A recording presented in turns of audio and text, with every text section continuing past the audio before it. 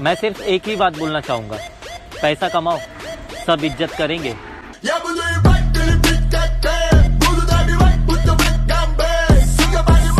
मैं सिर्फ़ एक ही बात